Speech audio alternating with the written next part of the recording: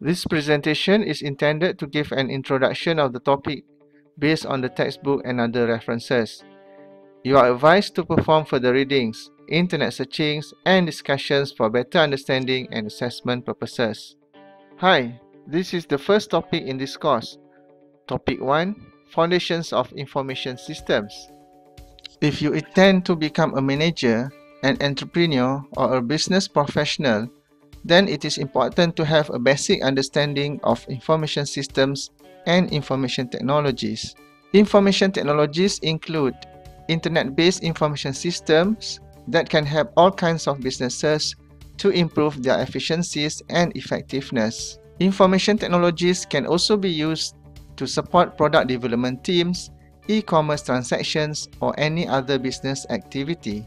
An information system or IS can be any organized combination of people, hardware, software, communication networks, data resources, and policies and procedures that stores, retrieves, transforms, and disseminates information in an organization. Although today's information systems are typically thought of as having something to do with computers, the fact that we have been using information systems since the old days even today, we make regular use of information systems that have nothing to do with a computer. Consider some of the following examples of information systems. Number 1. Smoke signals for communication.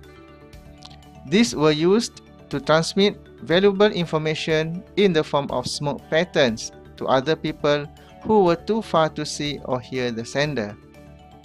Number 2. Card catalogs in a library. The card catalogs are designed to store data about the books in an organized manner that allows reader to locate a particular book by its title, author name or subject. Number 3. A paper-based accounting ledger. This is used before the invention of computer-based accounting systems. Businesses use this type of system for centuries to record the daily transactions and to keep records of the balances of their funds and customer accounts. What areas you will study? There are five areas. Number one, foundation concepts. Number two, information technologies. Number three, business applications. Number four, development processes and number 5 management challenges. All areas are structurally divided into different chapters throughout this course. There are three vital roles that information systems can perform for a business enterprise.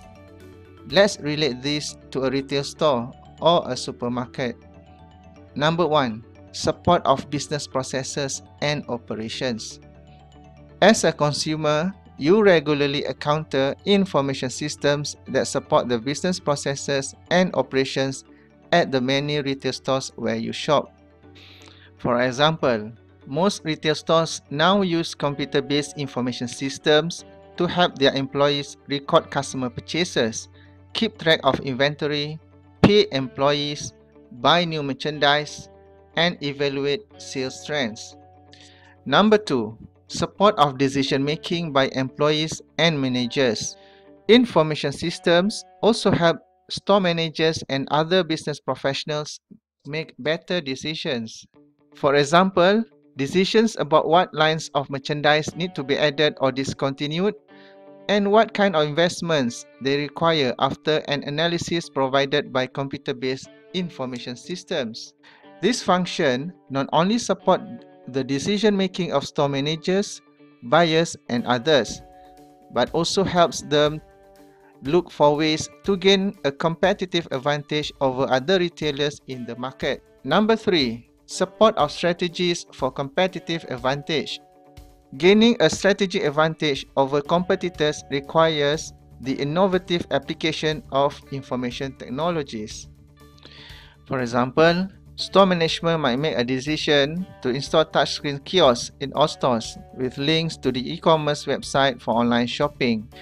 This might attract new customers and build customer loyalty because of the ease of shopping and buying merchandise provided by such information systems. This is the end of presentation. Thank you.